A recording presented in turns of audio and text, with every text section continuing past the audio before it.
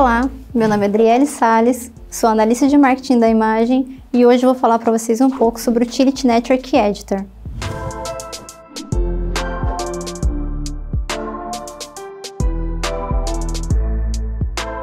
Então, hoje vamos falar um pouco sobre o Utility Network Editor, que é uma ferramenta que a Esri desenvolveu para edição e visualização de redes de utilities.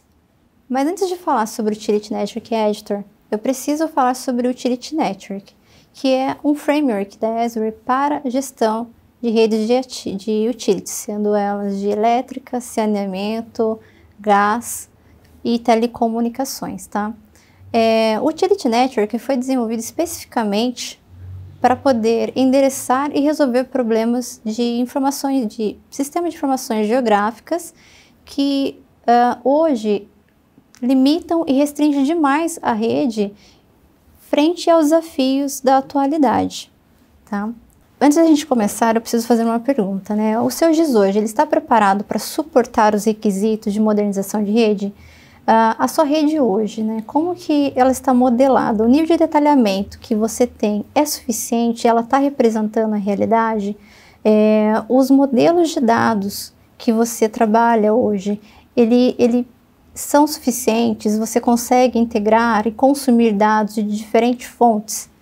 Tá? Integração com outros sistemas corporativos da empresa. Como que é essa integração hoje? Geralmente os, os sistemas de informações geográficas hoje, eles têm integrações muito complexas, o que dificulta para que você consiga trazer informações de fontes externas. É, outro desafio que os sistemas de GIS hoje que estão disponíveis no mercado possuem é falta de recursos de mobilidade. Então, quando você vai para campo e você precisa trazer o dado para dentro do escritório, geralmente você tem que coletar no campo, trazer para o escritório, ter aquele retrabalho. Dificilmente você consegue sincronizar e capturar em campo e já ter a informação disponível em tempo real. E o último, né, o último desafio que a gente identificou que é um, é um problema hoje para para as redes de, de utilities são os recursos de inteligência, né? Então, é, falta é, ferramentas de analítica suficientes, né, ou, ou específicas para você poder ter inteligência frente às informações que você precisa. Então, pensando nesses desafios, né, desafios encontrados no SIGS hoje, a Esri desenvolveu o Utility Network. Então, para quem não conhece o Utility Network da Azure, a gente vai falar um pouquinho sobre ele, tá? Vou explicar um pouco para que você possa conhecer. Ele é um framework que a Azure desenvolveu para ser modelo de rede das concessionárias de energia, saneamento, telecomunicações para os próximos 10, 15 anos. Então, como ele é um framework desenvolvido para que as empresas possam utilizar ao, a longo prazo, né, ao longo de de, de anos, ele foi desenvolvido é, e ele é extremamente poderoso, flexível e extensível. É importante a gente falar, né, um dos principais é, pontos que ele traz de benefício é que ele modela fielmente a realidade da sua, da sua rede, tá? Então, você consegue ter as informações não só da rede externa, como de interiores, por exemplo, de subestações é, mantendo também a conectividade e associações né, de, entre as redes elétricas e as suas estruturas. O que é interessante também ressaltar é que você consegue também ter uma visão tanto do estado construído das suas estruturas quanto do estado operado, né, permitindo inclusive, facilitando até a, a integração com outros sistemas, como por exemplo sistemas ADMS. Outra coisa importante interessante falar sobre o Utility Network é que ele permite que você faça é, modelagens históricas dentro da sua, da sua rede. Então você pode resetar a rede para qualquer momento do tempo e fazer uma simulação para identificar algum tipo de ocorrência, né, como que aconteceu no momento que ela ocorreu. Uh, Utility Network, uh, um dos principais pontos relevantes que a gente vai falar bastante e que inclusive é muito importante para o Utility Network Editor é, são as regras de negócios. Então, toda vez que você for incluir alguma informação dentro da ferramenta, você estará sempre é, atrelado, ele estará sempre atrelado a uma regra de negócio. Então, vai garantir a fidelidade e a qualidade da informação que está sendo incluída dentro da ferramenta, é, impedindo e diminuindo a quantidade de erros das redes, né? E para finalizar, um ponto importante também é que ele é adaptável e ele é acessível de qualquer tipo de cliente, seja de um desktop através do ArcGIS Pro ou do navegador, é, de dispositivos mobiles e até mesmo de plataformas de, de desenvolvimento, facilitando a integração com os sistemas de parceiros Esri.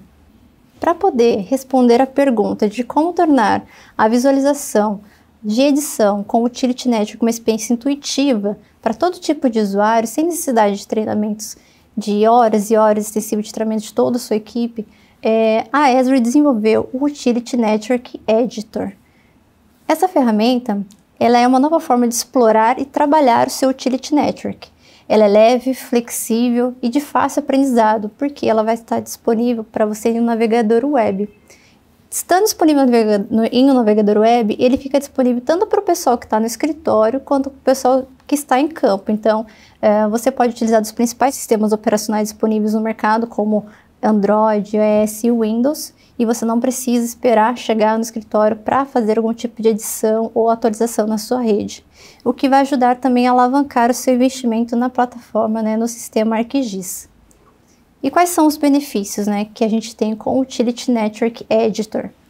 A edição vai ser sempre precisa, através de ferramentas de fácil utilização. Então, sempre quando você for incluir alguma informação dentro da ferramenta do Utility Network Editor, você vai, ter, vai estar atrelado, né, essa informação vai estar atrelada a uma regra de negócio. Sabemos que a regra de negócio, elas existem para garantir que a rede ela seja é, fiel à realidade da rede. Então, é, isso vai garantir a consistência das informações, tá? Garantindo sempre que você está tendo uma visão bem próxima da realidade, aumentando então a produtividade e otimizando processos de qualidade do seu time, porque uma vez que você não precisa esperar chegar no escritório para fazer algum tipo de edição, você é, consegue fazer isso com mais rapidez, em questão de segundos, e você vai ter esses processos sempre alinhados com as regras que já estão disponíveis e configuradas na sua rede. Tá? E ele é extensível também para fazer integração com qualquer tipo de sistema corporativo. Então, nos aprofundando um pouco nesses benefícios do Utility Network Editor, é importante ressaltar e frisar que ele é universal. Qualquer pessoa dentro da empresa pode e deve ter acesso a essa ferramenta sem precisar de treinamentos ou conhecimentos específicos em ferramentas de GIS. Então, se você é uma pessoa que não tem conhecimento específico em GIS, você vai conseguir fazer as edições e as atualizações usando o Utility Network que é uma experiência extremamente intuitiva. A gente vai ver isso na demonstração mais para frente. Uma vez que ele está disponível na web, você consegue acessar ele de qualquer plataforma, seja ele do seu computador no escritório, de celulares, de tablets, facilitando então a, a, a edição da ferramenta, do, dos dados, esteja você onde estiver, né? Seja o pessoal de campo ou até mesmo para os engenheiros que ficam no escritório. As conectividades da sua rede, elas vão estar sempre atreladas a regras, né, como bem dito já um pouco atrás. Então, ele vai garantir que as edições sempre serão validadas na sua introdução. Quando você for incluir algum dado no Utility Network, que a gente vai ver isso também na demonstração, vai ficar muito claro que é, eu não vou conseguir incluir algum dado que não esteja atrelado a uma regra. Então, ele vai garantir que as informações estão corretas e ele já vai ficar disponível na web para que qualquer pessoa possa consultar. Você consegue, através do Utility Network Editor, descobrir os clientes impactados através de operações de trace que você vai poder fazer tanto customizado quanto utilizar as, as informações, né, o traces que estão disponíveis já dentro da, do Utility Network Editor, identificando através de simulações para saber uma manutenção que vai ocorrer ou se está tendo alguma interrupção na sua linha, é, na sua rede, é, quais serão os clientes impactados naquela, naquela ocorrência. E você consegue também exportar todos os equipamentos que estão é, dentro daquela, daquela ação que você está fazendo. E por fim, né, como a gente já falou tanto no Utility Network quanto no Utility Network Editor, ele permite que você traga né, informações de outras fontes, faça integração com sistemas corporativos, otimizando é, a sua forma como você trabalha, trazendo desde workflows, workflows complexos, enriquecendo o seu ArcGIS, fazendo com que você consiga ter o melhor disponível em apenas um navegador. Então, como que a gente pode tornar, né, para embasar, né, para a gente poder reforçar a pergunta de como tornar a visualização e edição sobre o Utility Network uma experiência intuitiva, a gente vai fazer duas demonstrações, tá? Essas demonstrações, elas vão mostrar a interface do Utility Network, como que ela está projetada, né, onde, onde estão os elementos espalhados pela plataforma, pela, pela ferramenta, e depois a gente vai fazer algumas operações para vocês verem como que ele funciona. Aqui eu tenho uma rede de saneamento, tá? Então eu tenho uh, disponível aqui o mapa no fundo, eu consigo claramente ver aonde está as minha, a minha rede. É importante ressaltar que eu não precisei instalar nenhum, nenhum hardware, não, nenhum software, não precisei de nenhum hardware específico para poder utilizar e instalar essa ferramenta. Ela está aberta dentro de um Google Chrome, tá? Na parte superior eu tenho as ferramentas de seleção, então eu posso aqui selecionar um trecho da minha rede, eu estou selecionando uma tubulação. Quando eu seleciono, percebo que todas as ferramentas que estão disponíveis para fazer edição nesse trecho, elas habilitam. Então, é, eu não tenho mais aquelas caixas de ferramentas grandes, cheias de informações que, que são irrelevantes para para poder atrapalhar o, o, a pessoa que está fazendo essa operação, né? Ela consegue ter o foco e ter as ferramentas específicas para utilizar para essa edição, garantindo que nada seja editado incorretamente.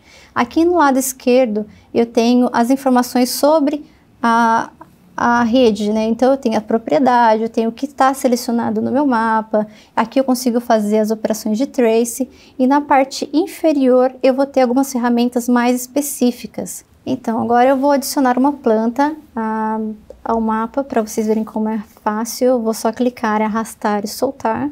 Ele já está posicionado no mapa. Eu posso dimensionar o tamanho dessa planta.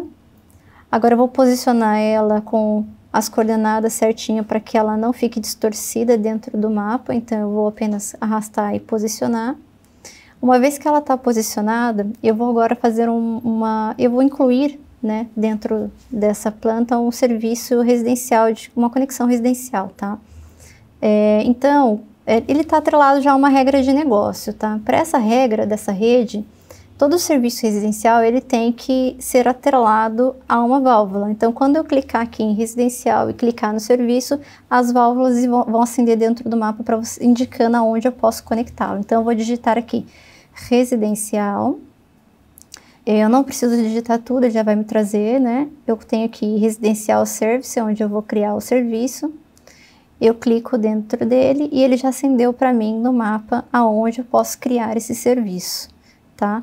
Eu vou clicar na minha ferramenta de, de edição, eu vou clicar aqui nessa, nesse, nessa válvula, vou dimensionar o tamanho do meu serviço, eu posso digitar também o tamanho que eu preciso para ter ele no mapa, vou posicionar ele aonde eu quero que ele fique e agora eu vou abrir a minha janela de regras para que eu possa selecionar que tipo de, de conexão que eu quero criar, tá?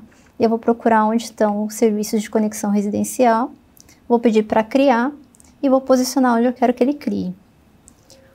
Pronto, com alguns passos ele já criou para mim um serviço, ele está atrelado às regras, ou seja, eu precisei que as regras fossem respeitadas e agora eu posso ter uma visão gráfica e hierárquica dessa nova rede, dessa nova conexão que eu acabei de fazer nessa rede. Então eu tenho o serviço que eu criei, vou pedir para expandir e ver aonde ele está conectado.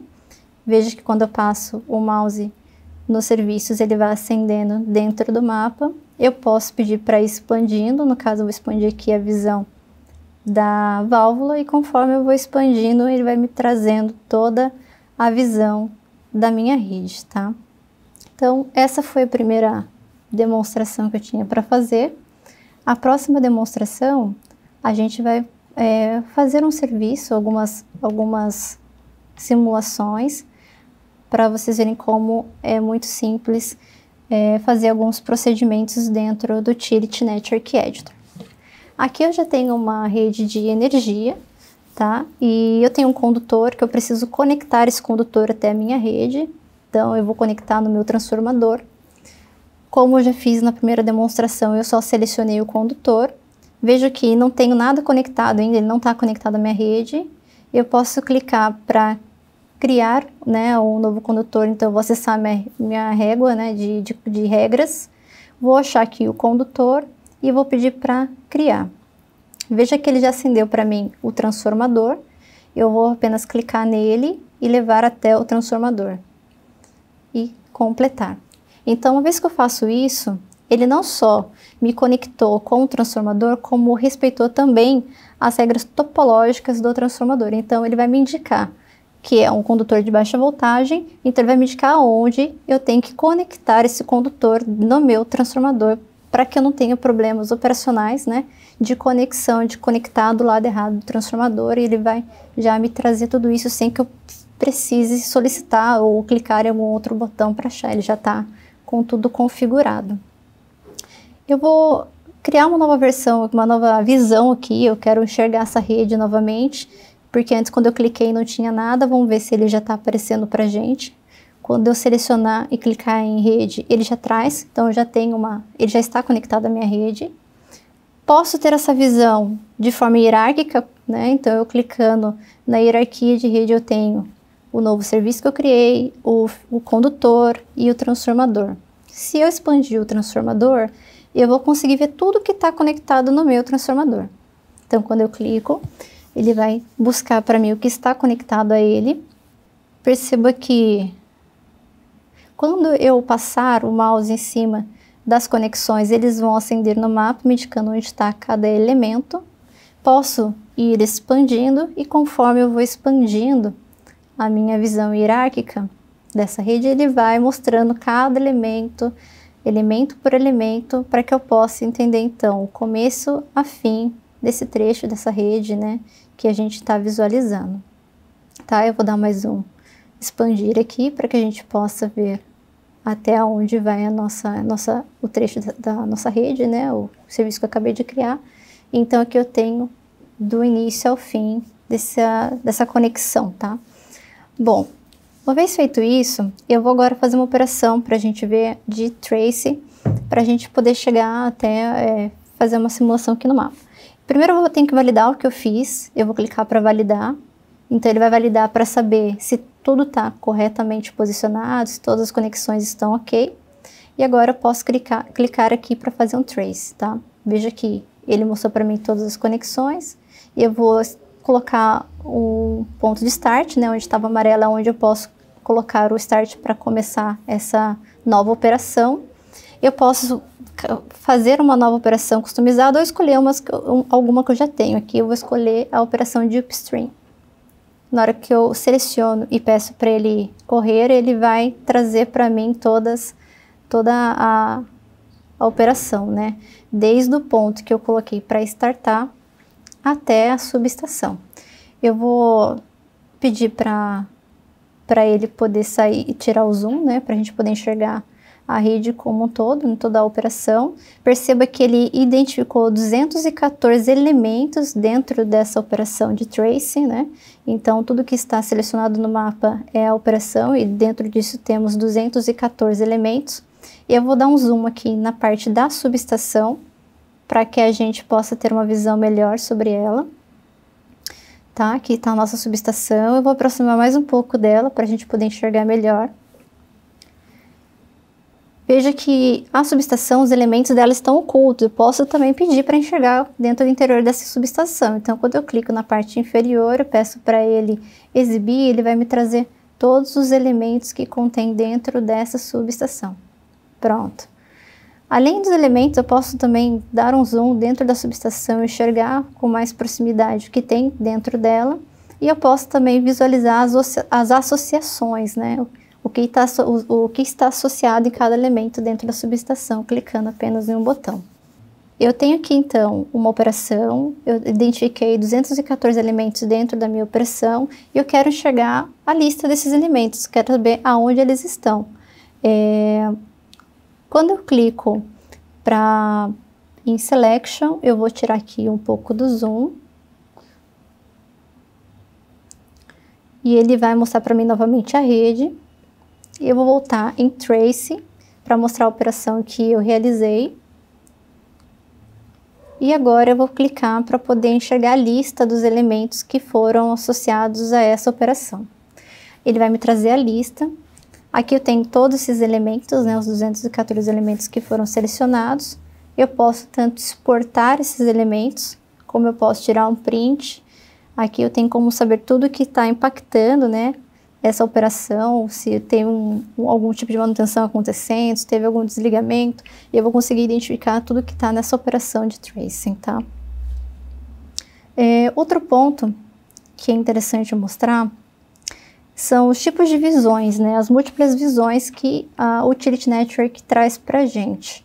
Então, é, é muito, muito comum para os engenheiros terem uma visão do diagrama da rede. Então, eu vou abrir o diagrama da subestação para a gente poder enxergar e ver como a gente consegue fazer múltiplas seleções e, e, ter uma visão mais clara da rede. Eu vou clicar aqui em diagramas. Eu posso tanto criar um novo diagrama como abrir um diagrama que eu já tenho disponível. Nesse caso, eu tenho o diagrama da minha subestação disponível. Vou pedir para abrir. Tá? Quando eu peço para ele abrir, ele já traz na, na tela para gente. Eu posso dar um zoom desse, dentro desse diagrama para enxergar melhor os elementos. Vejam que estão todos disponíveis aqui para gente. E agora eu posso também fazer uma seleção de dentro do diagrama e ele vai me mostrar no mapa e, e a gente consegue ter essas múltiplas visões que ajudam muito para uh, os engenheiros que operam essas redes, tá? E vou pedir para selecionar um trecho Veja que ele vai acender no mapa. E vou fazer o contrário também. Vou selecionar do mapa e ele vai acender na minha, no meu diagrama. Então, fica muito fácil. Vocês viram que apenas com alguns cliques, algumas operações eu já consegui realizar. Eu não precisei ter nenhum, nenhum entendimento específico em GIS, não precisei entender de GIS para poder manusear essa ferramenta. E eu consegui fazer as operações de forma muito rápida e muito simples e elas já estão disponíveis, ou seja, todas as operações que você faz e edita, elas já ficam disponíveis para você no mapa em tempo real para qualquer pessoa que estiver acessando essa rede ter a informação das edições que você está fazendo. É, então, fazendo um resumo, né, recapitulando tudo que a gente viu hoje sobre o Utility Network é, Editor, o que, que a gente pode trazer de benefício, de ponto positivo, que é legal dentro da plataforma? Ele é acessível a todos, tá? Então ele é universal. Vocês viram que eu não precisei conhecer muito de GIS, não precisei de nenhuma informação geográfica para poder fazer as edições, né? As ferramentas, ela, elas, elas ficam muito, é, são intuitivas, elas ficam dispostas pelo Utility Network de uma forma muito clara de se acessar, de se encontrar, né? É, você consegue visualizar, atualizar e editar dados em qualquer momento, qualquer hora, de qualquer dispositivo.